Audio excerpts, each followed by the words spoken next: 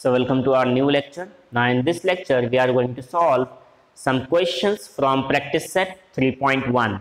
In the previous lecture we have seen the questions where we have used the properties of triangles. Okay now in this lecture also we are going to use the same properties that we have studied in our previous lectures and in previous classes that we have studied. Okay so let us start with the question number 4 of practice set 3.1 what is the question? That the measure of one of the angles of a triangle is twice the measure of its smallest angle. And the measure of the other is thrice the measure of smallest angle. Find the measures of three angles. Okay? So we all know that in a triangle there are three angles. Okay? Now here in this question two conditions are given okay we don't know what are the measures of angles. Okay all the three angles. The only conditions that are given to us is that one of the angle is twice that is two times the smallest angle of the triangle and other angle is three times the smallest angle of the triangle.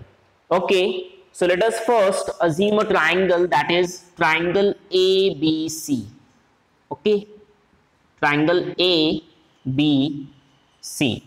Okay? I will take X Y Z as the angles of my triangle. So first of all I will write let X Y Z be the angles of a triangle. Now definitely we have to select one angle as my smallest angle. So I will take and Z is the smallest angle. I have taken Z as the smallest angle. Okay. Now the given conditions. Let us see the first condition that one of the angle is twice the smallest angle. So I will take by given conditions.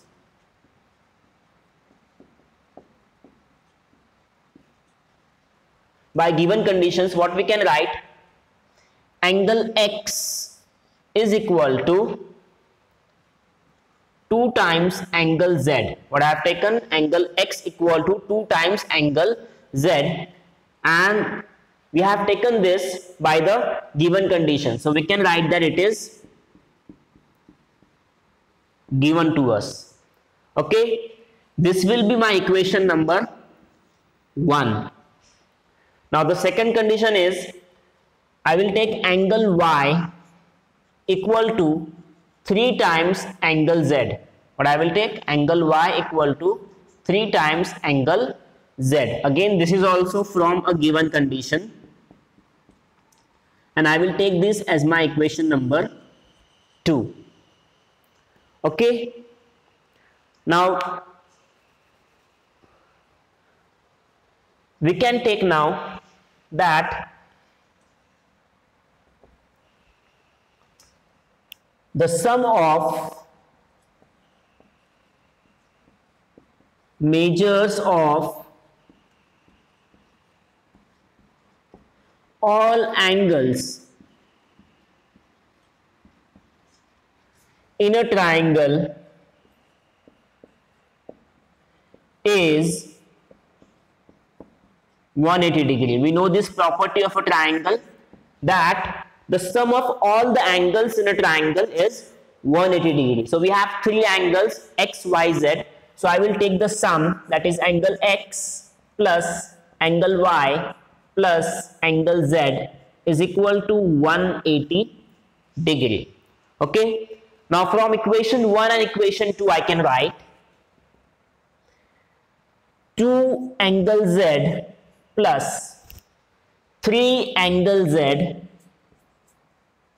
plus angle z is equal to 180 degrees okay Now 2 angle Z plus 3 angle Z gives me 5 angle Z and 5 angle Z plus angle Z gives me 6 angle Z. Okay. So therefore I can write 6 angle Z is equal to 180 degree. Therefore angle Z is equal to 180 upon 6. Okay. So 6 ones are 6, 6 threes are 18 and here we get 0. Okay. So therefore we have got the measure of angle Z that is the measure of the smallest angle and it is 30 degrees. Okay. Now from equation 1 we can find the value of measure of angle X and from equation 2 we can find the value of measure of angle Y. Okay. So from 1, I will get the measure of angle x that is angle x equal to. Now z is 30 degree. So 2 into 30 it is nothing but 60 degrees. So measure of angle x is 60 degrees. And from equation 2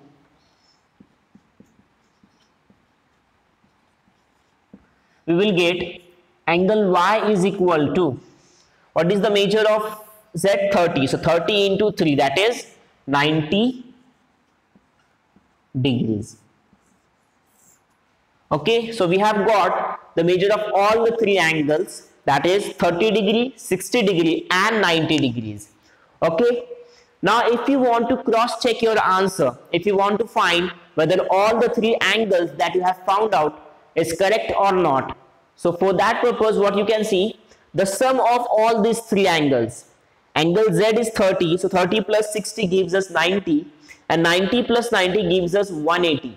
That means we have find the correct answer.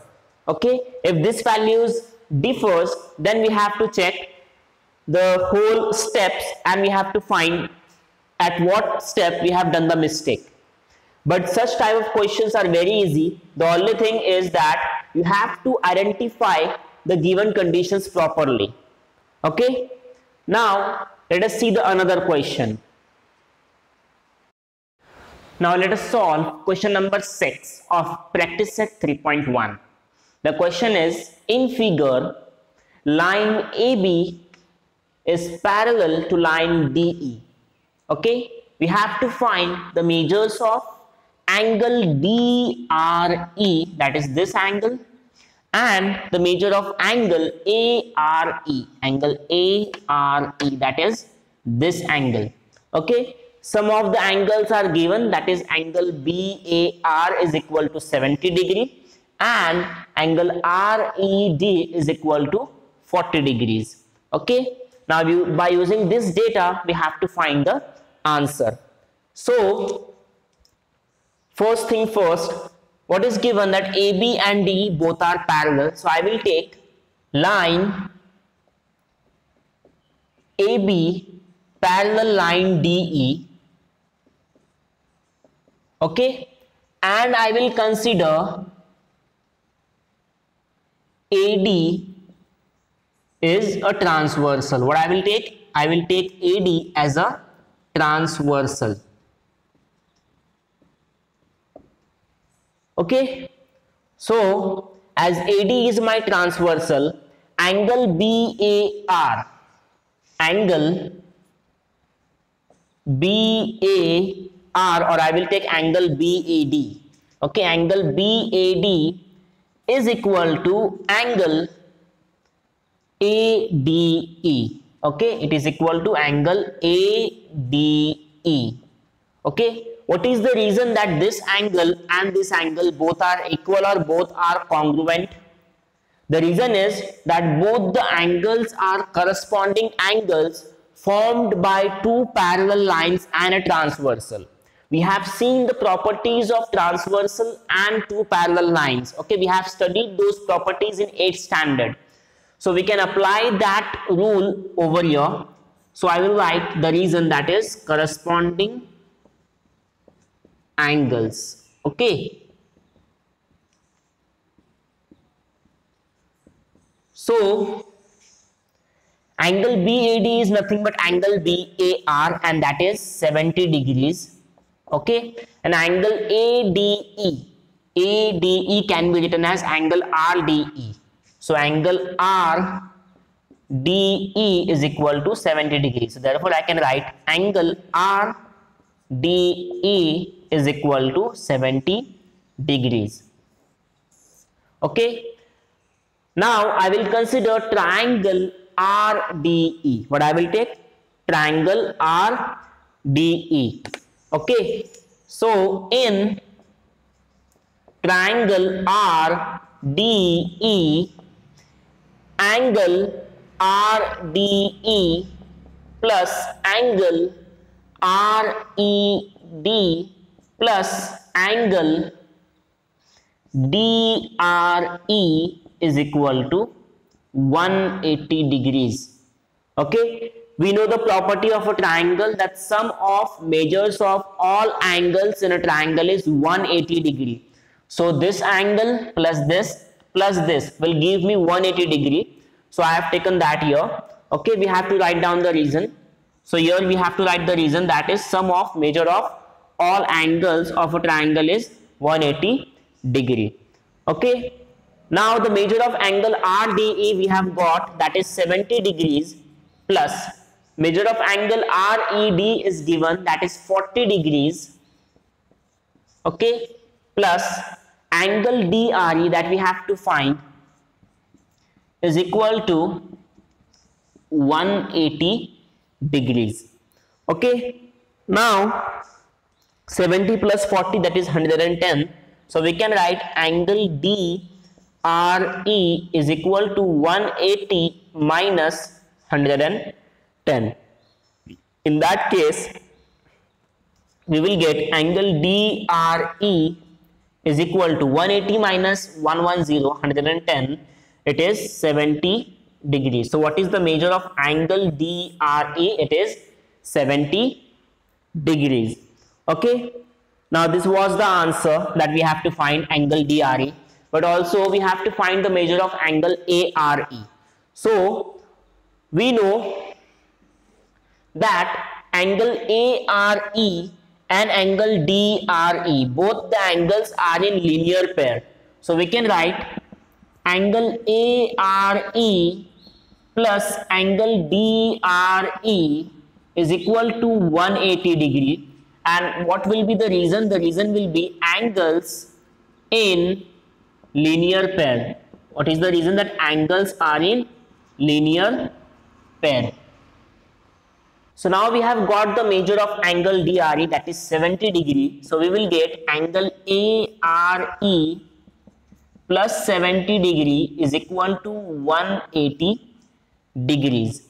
Okay. Therefore we can write angle ARE is equal to 180 minus 70. So what is 180 minus 70? It is angle ARE is equal to 110 degrees. So this is the measure of angle ARE. So in this way we have got the solution for question number 6 of practice set 3.1. Okay. Now we have solved two questions in this lecture. In the next lecture we will solve another questions from the same practice set. For this lecture your homework will be you have to write down all these two solved examples and also you have to solve question number 5 of practice set 3.1 okay question number 5 it is very easy question and you can solve it. Okay so we will meet in the next lecture. Until then goodbye